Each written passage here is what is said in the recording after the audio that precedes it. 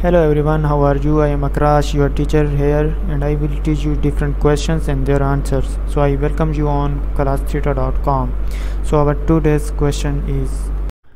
the somatic nervous system is also called and the answer of the question is the somatic nervous system is also called the skeletal nervous system because it connects the skeletal muscle with the central nervous system thank you for watching the video if you have any questions you can post a comment below if you have any questions in your mind you can also post on the website and i will be answering you in the next video thank you for engaging with us until next video bye bye